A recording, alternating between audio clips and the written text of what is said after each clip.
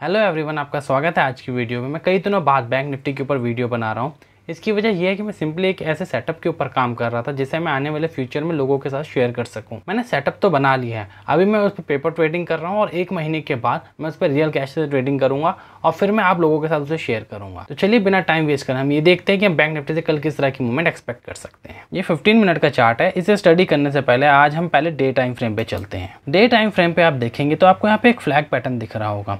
तो चलिए देखते हैं, अगर इस फ्लैग पैटर्न का ब्रेकआउट होता है तो हमें किस तरह की मूवमेंट देखने को मिल सकती है।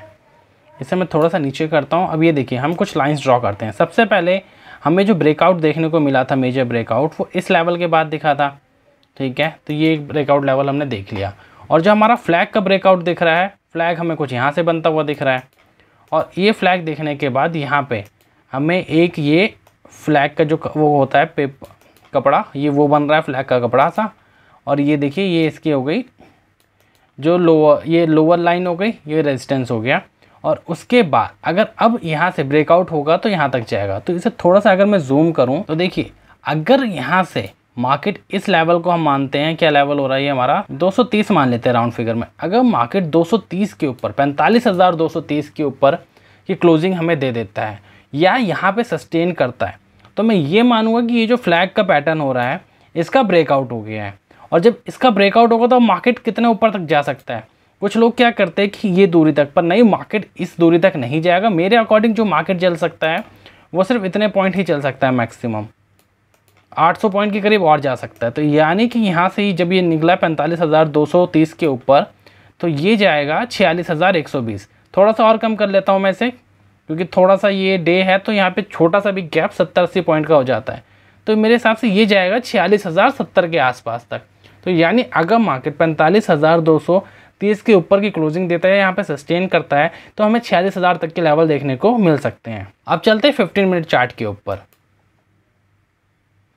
फिफ्टीन मिनट चार्ट के ऊपर देखिए तो यहाँ से ना अब क्या चीज़ है, यहाँ पे कन्फ्यूज़न बन रही है। कैसी कन्फ्यूज़न बन रही है? बाइंग साइड के लिए कि बाइंग हैपनिंग कैसे होगी? अब मैं आपको यहाँ पे कुछ लाइंस ड्रॉ करके दिखाता हूँ। एक लाइन देखिए, ये अगर अब मैं इसे मान लूँ कि चलो ये तो एक रेजिस्टेंस बन सकता है।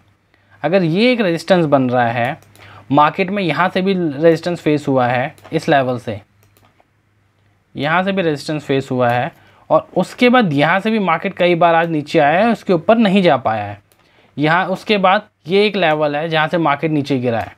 तो मार्केट में अप साइड के ऊपर बड़ी कन्फ्यूज़न है और ये देखिए, एक डायगनल ट्रेंड लाइन आ रही है कुछ इस तरीके से और एक ट्रेंड लाइन यहाँ से जा रही है। तो मार्केट में रेजिस्टेंस ही रेजिस्टेंस बन रहे हैं अप साइड पे। तो अब यहाँ पे अगर बाइंग ऊपर की तरफ़ जाती है मैं इन लाइन्स को वापस डिलीट करता हूँ। अब देखिए, अगर मार्केट में बाइंग आती है तो मैंने मल्टीपल लेवल आपको दिखा दिए जहाँ से मार्केट रिवर्स हो सकता है। तो कल अगर मार्केट ये वाला लेवल रखते हैं हम सिंपल सा, कि इस वाले लेवल के अगर ऊपर निकलता है तो मार्केट के साइडवेज होने के चांसेस ज़्यादा हैं। अब वो साइडवेज कैसे होगा? अगर मार्केट यहीं पे गैप अप ओपन हो गया पैंतालीस हज़ार के आसपास, और यहीं पे सस्टेन करके थोड़ा देर सस्टेन कर रहा है तो देखिए कितने चांसेस हैं। कि मार्केट यहाँ से ऊपर जाए, यहाँ से नीचे आ जाएगा, फिर ऊपर जाए, फिर यहाँ से नीचे आ सकता है, फिर यहाँ से यहाँ से नीचे आ सकता है। तो मार्केट में नीचे आने की बहुत सारी जगहें हैं। तो बाइंग कल हमें थोड़ा सोच समझ के करनी है। हम एकदमली बाइंग नहीं करेंगे। अगर आप बाइंग करते हैं तो लॉट कम रखिएगा। अगर आज की ट्रेड की बात करें तो मैंने आज यहाँ पर ट्रेड ली थी और उसके बाद मैंने यहाँ तक का प्रॉफिट एंजॉय किया और मैंने यहाँ पे जब भी मुझे लगा रहा था यहाँ पे रिवर्सल आएगा। यहाँ पे मुझे ऐसा क्यों लग रहा था रिवर्सल आएगा? देखिए सिंपल सा रीज़न ये था यहाँ पे अगर आप देखेंगे, तीस जून को मार्केट गैप अप ओपन हुआ था और उसके बाद ये नीचे आया। तो जब भी मार्केट गैप फिल करने आता है तो वहाँ पे एक रेजिस्टेंस बनता है। तो मैंने इसी वजह से जब मार्केट इस लेवल के पास आया तो मैंने अपने प्रॉफिट को बुक कर लिया था। अगर कल मार्केट नीचे की साइड आता है, यहाँ कहीं पे इस लाइन के आसपास, यहाँ कहीं पे अगर हम माने नीचे की तरफ़ गैप अप ओपन हो जाता है गैप डाउन यहाँ कहीं यहाँ कहीं मार्केट नीचे की तरफ़ गैप डाउन ओपन हो जाता है इस लाइन के आसपास। तो हम नीचे के सेल करने के पे सोचेंगे। क्यों सोचेंगे? क्योंकि अगर मार्केट नीचे गैप अप की साइड ओपन होगा ना तो अभी तक हमें मार्केट में तेज़ी से सेलिंग देखने को नहीं मिली। जब भी सेलिंग आ रही बाइंग सपोर्ट कर दे रहा है। तो यहाँ से अगर मार्केट निकलता है तो काफ़ी हद तक चांसेस है कि सबसे पहला लेवल है ये वाला। मार्केट इस लेवल तक आ जाए और उसके बाद जो दूसरा लेवल हो रहा है, हमारा ये वाला। यहाँ तक के लेवल हमें देखने को मिल सकते हैं। और ये कितने एरिया हो जाएगा कवर कर लेगा? ये कवर कर लेगा टोटल मिला के यहाँ तक। ढाई सौ पॉइंट्स का एरिया कवर कर सकता है।